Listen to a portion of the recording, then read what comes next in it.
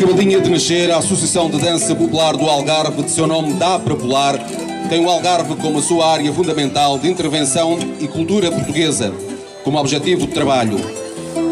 Sendo uma completa novidade no sul do país, o trabalho que desenvolvem caracteriza-se por um cruzamento entre as raízes culturais expressas através da dança e música tradicional com as potencialidades da criação e estilização artísticas.